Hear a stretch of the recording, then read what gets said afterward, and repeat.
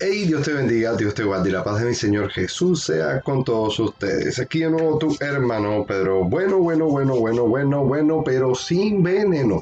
Bueno, en esta ocasión eh, quiero hablarles de los votos eh, o las promesas que se le hacen a los santos de la Iglesia Católica y nada más y nada menos que a, a los santos de la Iglesia Católica en el cual confunden estas personas promesas eh, que se le hacen eh, por favores que se le devuelven. Eh, imagínense, pero esto ha llegado a un punto en el cual vemos a personas arrastrándose, vemos a personas que pierden el pellejo, ¿verdad? De sus rodillas, arrastrando cadenas, en sus espaldas llevando estas representaciones, estas esculturas de yeso, pues es un desastre, es un desastre. Eh, esto es lo más antibíblico y anticristiano que hay. Eh, por eso les voy mm, a, poner un videito, lo vamos a comentar como siempre, y de ahí entonces, bueno, ustedes sacan sus propias conclusiones. Veamos el video, un minutico.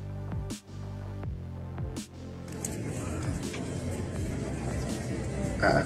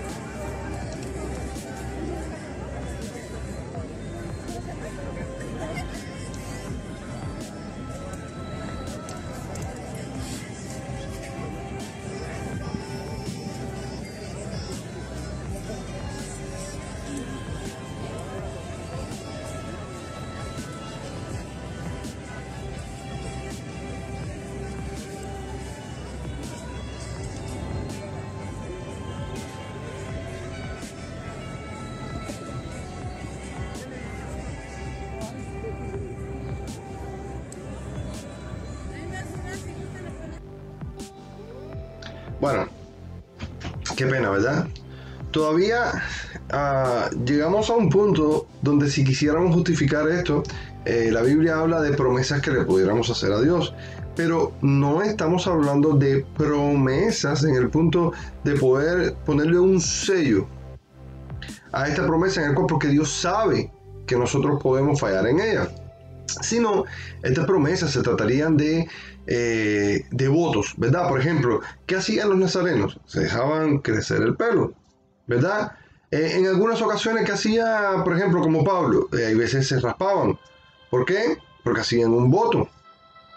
pero este voto era, Señor, gracias, gracias porque como de, tal manera de que tú mandaste a tu hijo a morir en la cruz por mí, y por esa bendición y ese regalo, pues yo ahora respondo, ¿verdad? esa fe obradora que responde a, este llamado en el cual por lo que tú me regalaste yo lo voy a hacer por agradecimiento, pero no es un negocio en la cual, bueno Señor, si tú mañana me das y yo me saco la lotería, entonces yo voy a ir a la iglesia todos los días de manera de que estaré ahí a las 7 de la mañana y le daré dinero a los pobres. Bueno, no, usted le da dinero a los pobres, aunque usted no tenga, ¿verdad?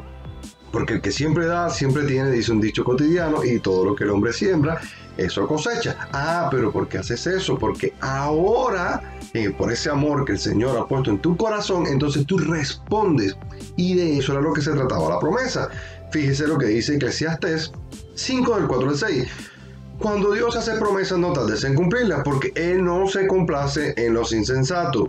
Cumple lo que prometes. Mejor es que no prometas, fíjese, no prometas, no es obligado, no hay que prometer nada, y mucho menos a santos. ¿Dónde está eso en la Biblia? Y que no prometas y, y que no y que no prometas y no cumplas.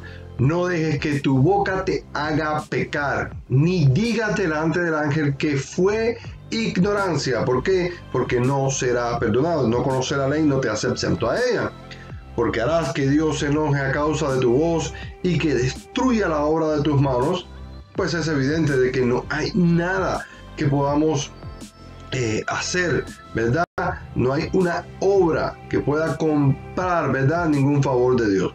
Mira lo que dice Miqueas 6, del 6 al 8. Y esto es lo que sí quiere el Señor que usted haga.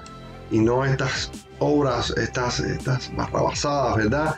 Este, eh, esta flagelación, ¿verdad? Desmedida en la cual eh, la Iglesia Católica y Romana y, y vaya usted a saber, ¿verdad? ¿Dónde más? Y, por, porque, por ejemplo, en, en Cuba esto lo, eh, lo, sincretizan, el cual, por ejemplo, en estas fechas son, celebra el día de San Lázaro, el cual es Babalú Ayé, entonces a sus santos, los, sus ídolos los sincretizan con San Lázaro y ahí van todos como ovejas al matadero a cumplir, a, caminar eh, millas, a, arrastrarse, a arrastrar eh, cadenas, ¿verdad? Por alguna promesa que le hicieron a San Lázaro, que a la vez es Babalú Ayé.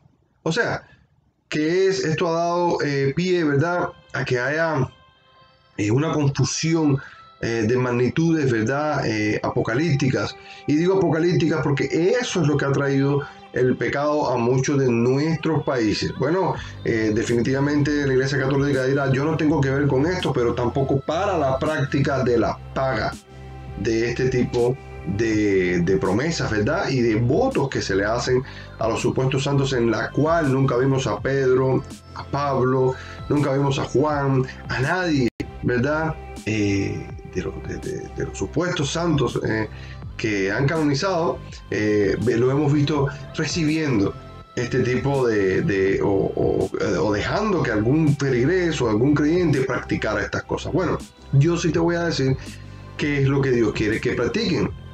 Miqueas 6, 16 al 8 dice, ¿cómo podré acercarme al Señor? Y es al Señor, vuelvo y repito, y valga la redundancia, y postrarme antes del Altísimo eh, dice una pregunta, ¿podré presentarme con holocaustos o con becerros de un año? O sea, ¿podrás hacer algo tú para poder ganar el favor de Dios?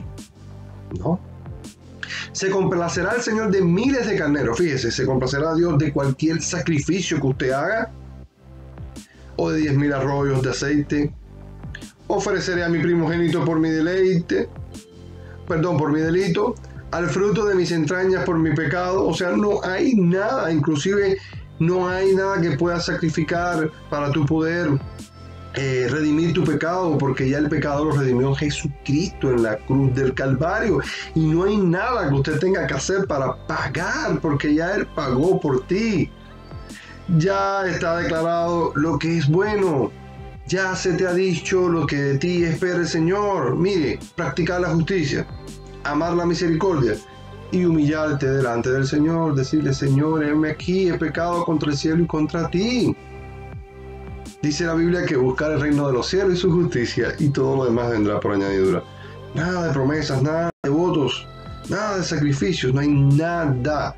Dice que sus ovejas, Juan 10, escuchan su voz y le siguen y Él les da la vida eterna. ¿Qué mejor que eso, que cualquier favor que te pueda hacer cualquiera aquí en la tierra?